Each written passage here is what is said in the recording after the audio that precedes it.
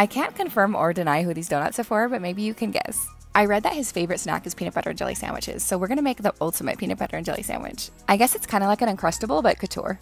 I also threw in some of our most popular donuts, like our pumpkin spice and our Napoleon. This one's like a Napoleon turned into a couture donut. I'm not sure if his gorgeous wife's gonna be there too, but I threw in one of these just in case. I put 24 karat gold everywhere. Okay, here is the final result. I cannot believe that these donuts are going to his room.